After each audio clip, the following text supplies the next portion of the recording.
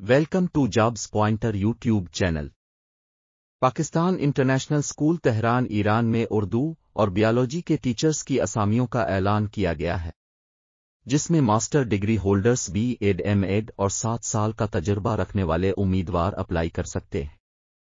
Apply करना इंतहाई सान है।